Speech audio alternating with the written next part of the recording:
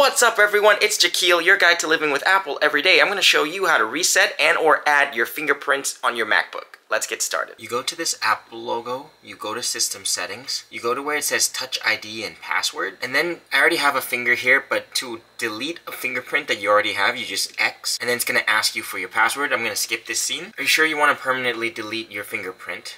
Yes. Okay, so now you're back fresh. You want to add a new fingerprint place your finger and uh, rest your finger on the Touch ID repeatedly. That's this little button right here in the top right corner on your MacBook.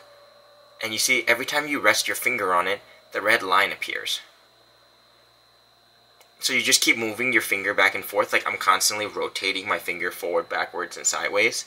Um, I'm moving it up, down to make sure the red line gets everywhere. See? Now it's on like I need to move the bottom right, so it gets the bottom right. There you go, your Touch ID is ready. It can now be used to unlock your Mac. But let's say you don't want to use your pointer finger, or you want your pointer finger, but occasionally you use your middle finger, occasionally you use your thumb.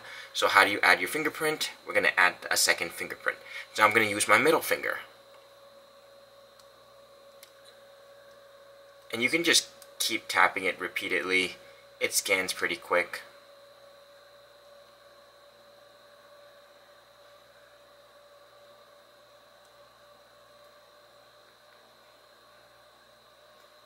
Ta-da! Done. Let's add a third finger. So I'm going to add my ring finger.